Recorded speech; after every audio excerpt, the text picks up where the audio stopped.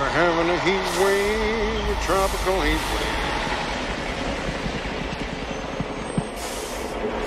Somebody moving into the old Klickner place. Gee, you picked up on that, Sherlock. Now, the Klickner place might not be available anymore, but since this polar vortex, we saw a, an incredible surge of new listings coming on in the area.